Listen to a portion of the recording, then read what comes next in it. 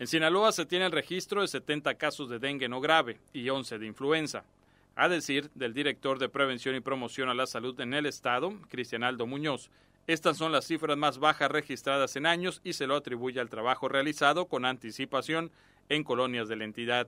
Eh, Sinaloa actualmente se encuentra eh, en una de las cifras más bajas de dengue desde hace aproximadamente dos o tres años.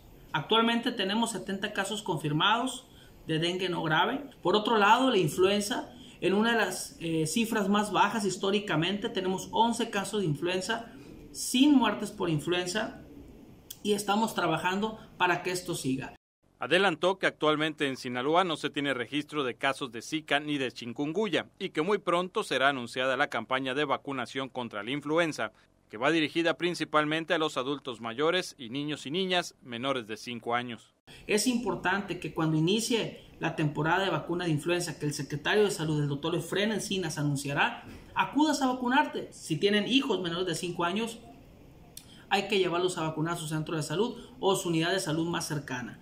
Si tienes más de 60 años, hay que vacunarse. O bien, si tienes una enfermedad crónico-degenerativa, que así lo amerite. Esto es importante porque la influenza también es un virus complicado y fuerte, pero tiene una vacuna que lo combate y hay medicamentos para poderlo contrarrestar.